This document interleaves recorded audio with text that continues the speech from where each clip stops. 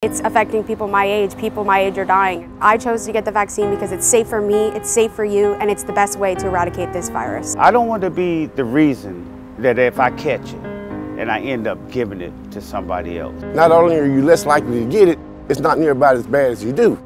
I'm not a scientist, but I can read, and I thought it was my responsibility to make my own decision for me first and then my community. We have older people dying and children under 12 that cannot get the shot. Please get the shot.